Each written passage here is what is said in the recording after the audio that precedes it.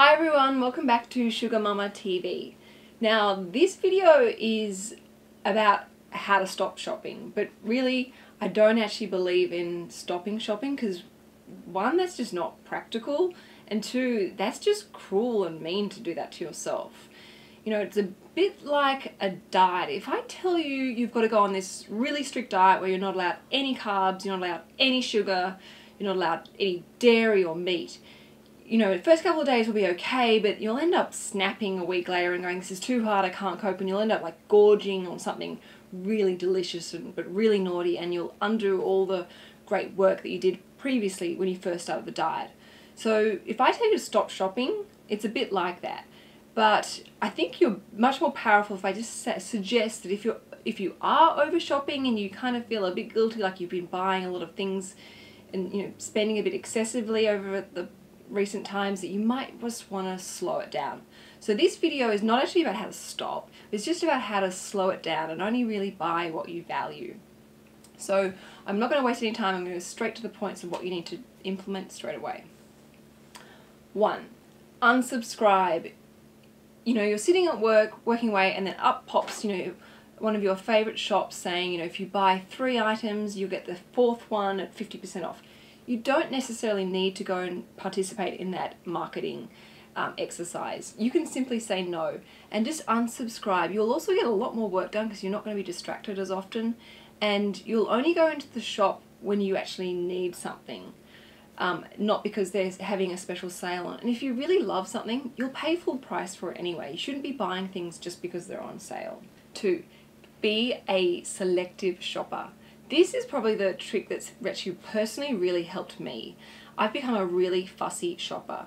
I only have three or four of my favorite shops that I'll go into and I don't waste any time going to any of the others. And the way I worked out how to pick my favorite shops was I went through my wardrobe and did a big cull as part of my minimalism process and I looked at the brands of clothes that were still in my wardrobe and I looked at the brands of clothes that you know had lasted me like you know three or four years and kind of still stayed in fashion. And I was able to identify which shops were actually selling me really good quality goods that were you know really reflected my sense of style. And I decided okay that's it. I've got these shops that I go to and, and I and I'll visit and I'm not going to even walk in the front door of any of the other shops. Um, they'll, they'll, be a complete waste of my time. So I've really controlled where my temptation comes from and actually limited it. Three, be a cash queen.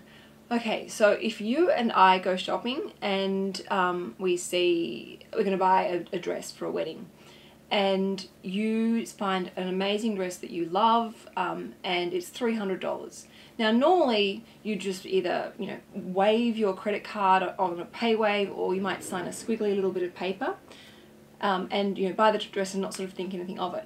But if we change this around a bit and instead of you using your credit card or ATM card even, we actually go to the ATM, we withdraw the $300 to pay for the dress and you see $300 notes in your hand and go back into the shop because that transaction is you'll be a lot more conscious in handing over those that $300 in notes and actually seeing your savings account drop by $300 you'll actually in that transaction realize whether you actually really do need that dress and if it's really worth it.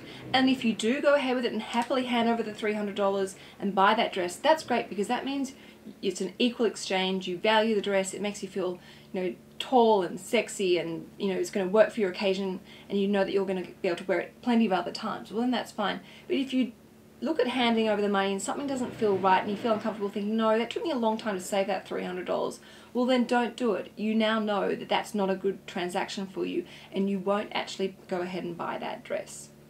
Four balance before buy.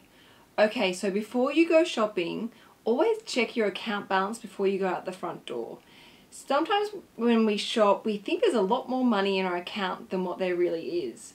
So if you can check your account before you buy something, you'll know exactly how much money is in your account and you'll know exactly whether you can afford it or not, or if it's worth spending your last couple of hundred dollars on a, a top or a pair of shoes and you know that you've got to still survive for the rest of the month or until your next pay packet comes through. So definitely a good one that really helps keep spending in check. And the final fifth point, track your rack.